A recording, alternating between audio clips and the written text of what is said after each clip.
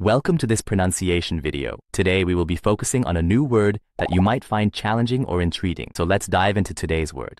Begraben, which means, To bury, inter, put in the ground after death. let's say it all together. Begraben.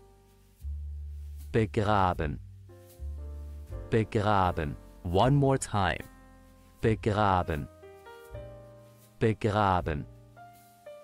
Begraben. Thank you for joining us on this adventure in pronunciation. Remember, language is a journey, not a destination. Keep exploring, experimenting, and expanding your linguistic horizons. We'll see you next time.